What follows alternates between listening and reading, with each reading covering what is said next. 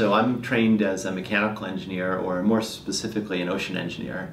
Received my master's from MIT working on this really cool robotic tuna fish. So envision a 46 inch long undersea vehicle um, stuffed in a spandex bathing suit and you'll get the general idea.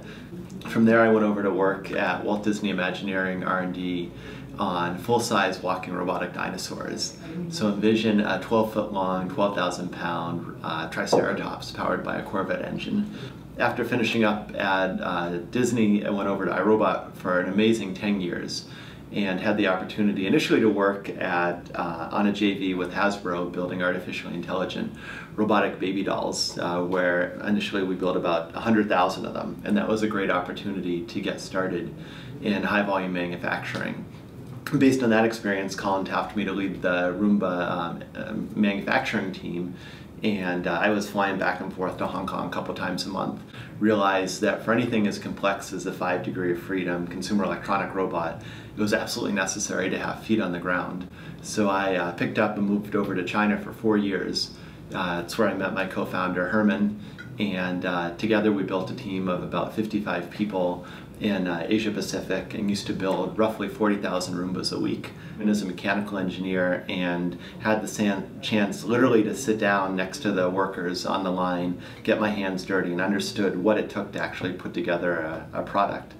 And over time I worked my way um, up to the VP of Asia Pacific, uh, had and during that process, I had the chance to sit literally in everybody's seat along the way from thinking about how do you pick a factory to how do you put together a quality plan to how do you handle costing and sourcing.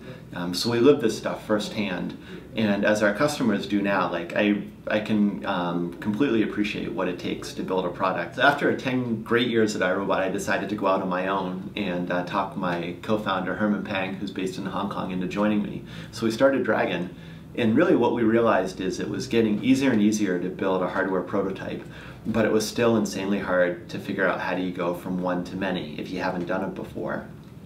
There's a lot of forces making it easier and really lowering the, the walls to innovation for going from the idea to the prototype stage.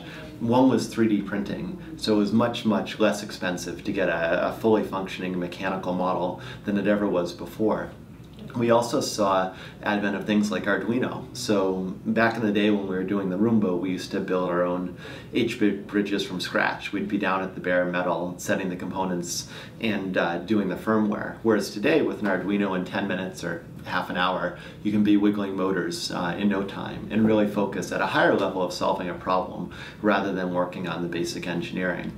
So this was incredibly empowering and there's this kind of the early dawn of the hardware revolution of everybody getting into it. But then they would stumble in, um, from the prototype to high volume. Sometimes they'd look at Alibaba and pick a factory that wasn't well suited for them, or they would just have so many unknown unknowns that um, they'd get lost along the journey trying to figure out, you know, how much does a product actually cost and is there a business model behind it? How much money does it take to bring the product from a prototype to the shelves?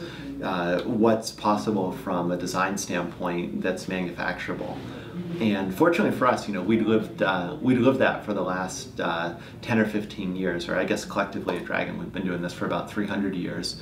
So we knew how to get from the prototype to the high volume, and really had an amazing opportunity to work with some of the pioneers like Bre over at MakerBot uh, to um, take the the prototype and figure out what does it cost, how long does it take, how do you pick a great factory, how do you negotiate the manufacturing service agreement, how do you put together a quality plan.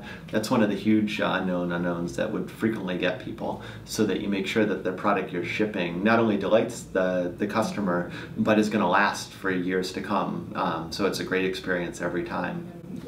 So Herman and I took the knowledge that we had. We brought in a bunch of folks we'd worked with a long time before at iRobot uh, to start Dragon and started working with companies sort of as an API for manufacturing so that we could help them build their product and then they could focus on what they did best, uh, the product itself, the market, and um, how to grow.